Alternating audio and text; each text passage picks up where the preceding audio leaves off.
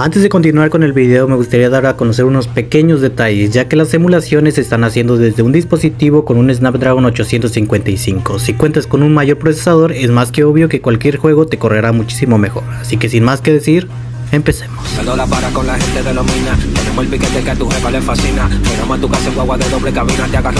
Y bueno muchachones, estamos de vuelta nuevamente con Yuzu, pero no con una actualización, sino con una versión de desarrollador. Entonces, esto quiere decir que vamos a tener la oportunidad de disfrutar varios títulos en versión NC ya que anteriormente si tú gustabas de probar algún título como eh, por ejemplo Mortal Kombat no lo podías hacer porque te pedía que lo tenías que utilizar en modo hit. Entonces esto ya no sucede con esta versión de desarrollador. Entonces bueno si gustas tener esta aplicación puedes unirte a nuestro grupo de telegram. El enlace o el link del grupo de telegram estará en los comentarios fijados entonces solamente te vas a los comentarios y ahí encontrarás el enlace del grupo de Telegram. Así que pues bueno, pasemos a la parte importante. Bueno, hay que aclarar unas cositas, como por ejemplo, esta versión es de desarrollador. Eso quiere decir que posiblemente sea una versión anterior a la que estemos eh, probando actualmente, que sería la versión 171. Entonces, esta versión puede ser una versión muy anterior, puede ser desde la versión 150, puede ser desde la versión 160 o puede ser desde una versión muchísimo más anterior y posiblemente será la razón en la cual no te van a funcionar varios títulos que ya has disfrutado en la versión más actual que sería la versión 175, de 171, perdón.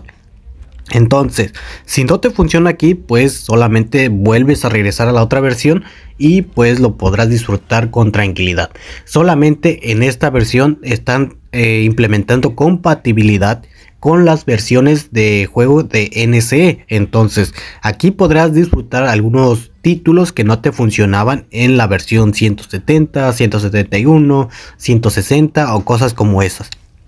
Como por ejemplo, en la versión 171, el Mortal Kombat como que pues eh, al entrar en combate no funcionaba. Con esta versión sí funciona, va un poco de malo de FPS, pero se sigue manteniendo. Entonces ya abre, ya puedes ver el combate y todo eso.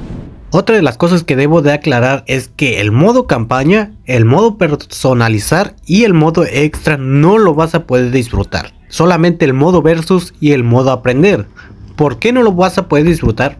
Porque este título en específico necesita bastantes, bastantes archivos. En total, este título pesa más o menos como 30 gigabytes. Eh, más o menos por ahí, unas 25, posiblemente lo más bajo que he visto, 25. Entonces tienes que poder eh, tener bastante espacio para que puedas disfrutar el modo campaña, personalizar y extras. De lo contrario, no vas a poder disfrutarlo al 100%. Solamente el en modo base, que sería como unos 5 GB. Entonces, con 5 GB nada más podrás disfrutar el modo versus y el modo aprender con pocos personajes. Eh, hay que aclarar eso porque hay veces que eh, pues entras en este modo de prueba. Como por ejemplo, tarda un poco en, en entrar. Pero como podrás notar, solamente tenemos disponibles 8 personajes. Entonces, para disfrutar de todos los personajes, tienes que tener completo este título, que más o menos serían unos 25 a 30 GB. Entonces, solamente sería eso, para aclarar. Ya para finalizar, debo aclarar unas cositas. Como por ejemplo, si por primera vez entras a modo versus o modo prueba y te sucede este error que estás viendo en pantalla, los personajes van bastante, bastante lentos o los FPS han caído hasta 2.5 como a mí, solamente es cuestión de que abras el menú del juego, que sería más o menos por aquí, dejas unos 2-3 segundos aquí en el menú y después te sales del menú. Entonces, como podrás ver, los FPS se han mantenido estables. Ya no da ese error de la caída a, a 2.3, 3.5, nada de eso acaba de corregir. Eso sí, hay que aclarar nuevamente que esta es una versión de desarrollador. No tendrá la misma cantidad de FPS como en las versiones actuales que serían la versión 171. Entonces hay que tener eso en claro. Solamente están como que probando que si funcione todo esto. Que si eh, se puede hacer compatible más que nada. Entonces como por ejemplo ya es disfrutable. Ya puedes entrar en partida. Ya puedes hacer combos. Ya puedes hacer el fatality Todo, absolutamente todo. Solamente que hay veces que te va a dar errores de lag, eh, caídas de FPS, eh, yo que sé, a veces eh, tendrás un poco más de sobrecalentamiento.